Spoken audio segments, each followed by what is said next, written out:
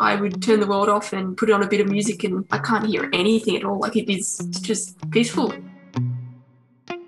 I've always struggled, especially at school, with the noise just being too much, kind of being in a bit of pain because of how loud it is for me. I'd get calls from school saying, About you know. Charlotte, yeah, Charlotte had a migraine about lunchtime. I have to go and, and pick her up. Every day I'd just come home absolutely exhausted. We took her to an occupational therapist. Came to the conclusion that Charlotte had auditory processing difficulties. Came across the IQbuds. I just took a shot.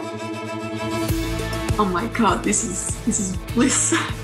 It was just wonderful. All that background noises, pens and chairs gets cut out. I can actually stay at school, become a lot easier to actually focus. I use the focus feature. Focus on. Some of my teachers didn't think that I'd still be able to hear them and have conversations. It's kind of like, oh, can you hear me? It's like, hey, yeah, I can hear you.